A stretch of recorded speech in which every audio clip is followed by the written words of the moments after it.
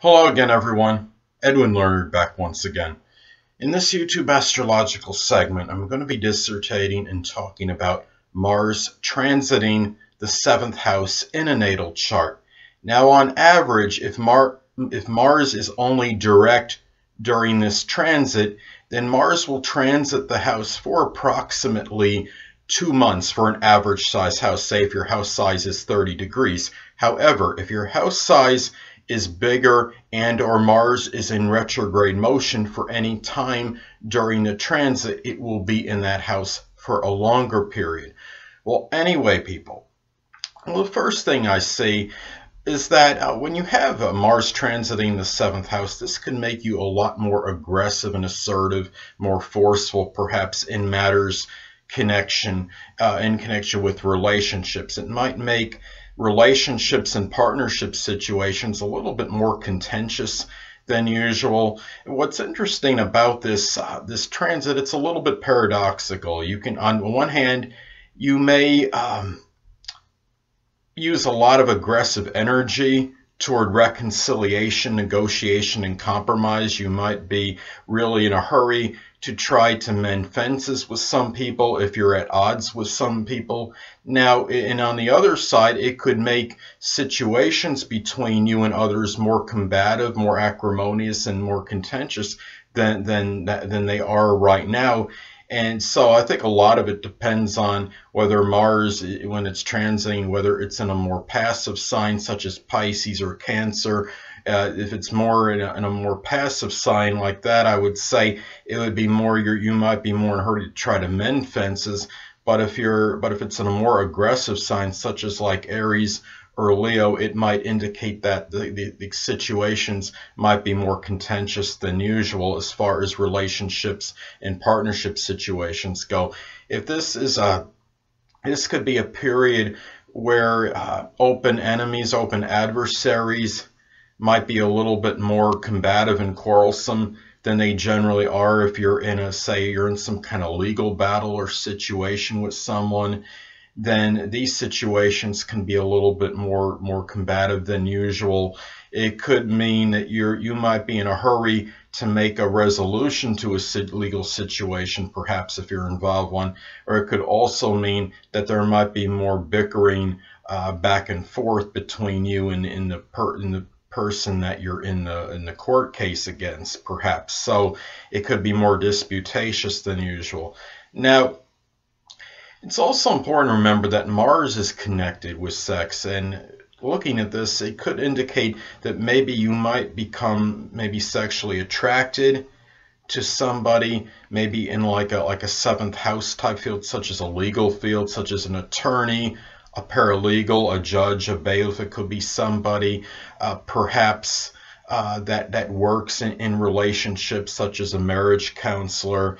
It could be somebody like an arbitrator, perhaps, or a mediator. And really, when you when you look at this, you have Mars traversing uh, the seventh house, it could indicate a lot of energy that you could be expending uh, for others because you look at the first house, okay, the first house is a little bit more egocentric. It's about me, myself, and I. But when you look at the, the seventh house is more about people appeasing and doing things for others. So you might be using a lot of this Mars aggressive energy in order to help others. And it's important during this transit to not uh, be dominated so so much by other people that you forget your own self. I mean, it's not, there's nothing wrong with doing things for other people, but it's also, you don't want to become oblivious to your own needs as well. And it could be a time where you put forth a lot of energy into collaborating with others. It might on projects perhaps, and it, it really it could be more of a time where you just feel like you feel like putting forth more energy with other people as opposed to doing things say more in a, in a solo fashion or, or, or by yourself or, or doing things independently. You might be more apt to request uh, the help of another person even in even if if you're very say if you're a person that's generally very independent and self-reliant it, it could indicate a time where maybe you might feel a little bit more dependent and or maybe you have more of that courage to ask somebody for help as opposed to trying to do something yourself, such as such as if it's a task that requires a lot, that's time consuming and painstaking, you might be more inclined to ask someone else for assistance and, and curtail the, the, pride, so to speak, and, as far as the, this time during this transit. Well, anyway, people, it's also important to look at the sign that Mars is in during this transit as this could flavor the transit. Now let's say that transiting Mars in the seventh house is in Aries for either the majority or the whole time of the transit to your seventh house. Well, this could indicate uh, a little more, uh, a lot of aggressive and maybe even combative uh, energy perhaps, and this could, uh, and, and be, being very direct and straightforward and forthright as well.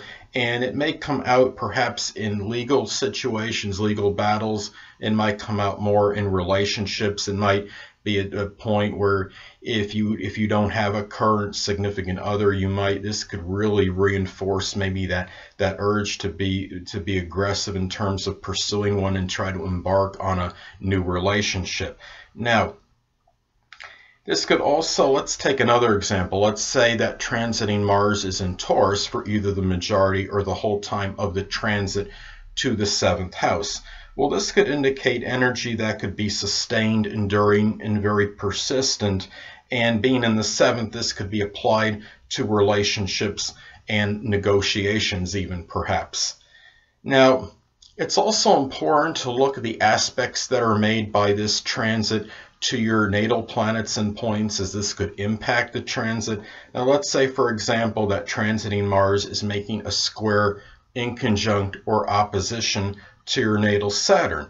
Well, this could be a time where you're more cognizant of your limitations, your restrictions, which might cause exasperation and anger. Now, being in the seventh, this might be tied in perhaps to situations connected with your relationships, partnership situations, and maybe even legal matters in some cases.